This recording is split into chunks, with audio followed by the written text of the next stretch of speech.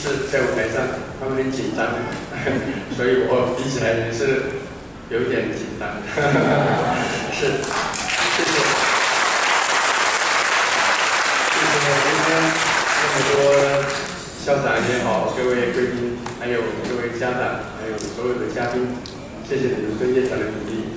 集团愿意用嘉年华这一首来献给今天所有的贵宾，谢谢你们。